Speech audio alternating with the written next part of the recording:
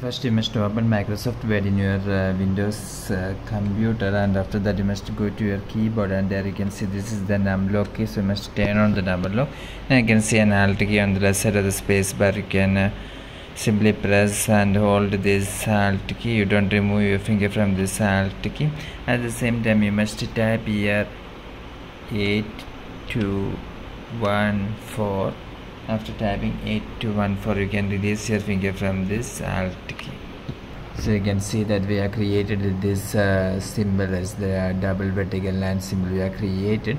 And another method for creating this um, symbol is you must um, go to your keyboard and uh, simply type 2016 so you must simply type like this uh, 2016 and after that you must uh, simply press these two keys alt key and s key. You must press these two keys at the same time then you can see that uh, the same symbol have been arrived here.